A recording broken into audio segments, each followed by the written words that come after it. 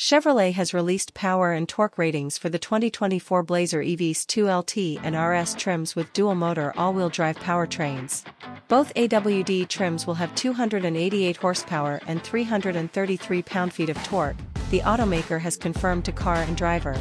This is the first time Chevrolet has announced power and torque outputs for these versions of its electric SUV. Previously, Chevrolet only revealed the power rating of the Blazer EVSS performance model, which makes 557 horsepower and up to 648 lb-ft of torque, and the Blazer EV PPV, police pursuit vehicle, which is rated at 498 horsepower and 531 lb-ft of torque. Power ratings for the front drive 2LT and the rear drive RS are yet to be revealed.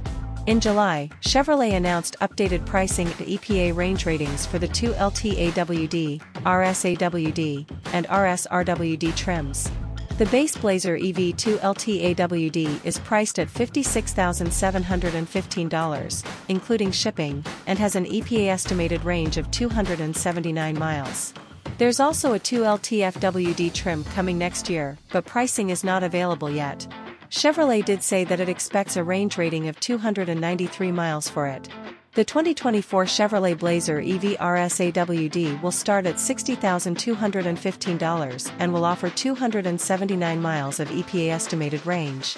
The Blazer EV RS RWD is surprisingly more expensive than the RSAWD, starting at $61,790. It does offer the longest range in the lineup of 320 miles, according to the carmaker. Last month, Chevrolet opened orders for the Blazer EV2 LTAWD and RSAWD, which are the first trim levels to ship to dealers. The Blazer EVSS range topper will become available in spring 2024 after Chevrolet delayed it by about half a year.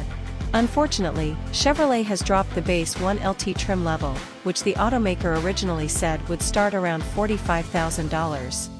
Its place in the lineup will be taken by the Blazer EV2 LTFWD coming in 2024, but GM did not say how much it will cost. It will clearly be more expensive than the 1LT since the 2LT AWD starts at $56,715.